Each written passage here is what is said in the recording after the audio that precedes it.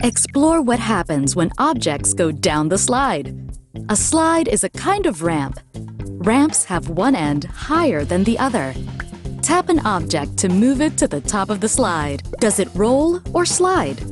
A ball rolls differently on different surfaces. Some surfaces create more friction with the ball. Friction is a force that slows down things that are moving. Tap on a surface that you think will help the ball roll far enough to reach the hole. Shadows look different depending on where the sun is in the sky. Tap to add objects to the scene. Move the sun and observe what happens to their shadows. Tap on a thermometer to see what the temperature is. A thermometer is a tool that tells you how hot or cold something is.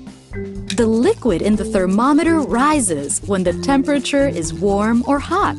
What does the thermometer look like when the temperature is cold?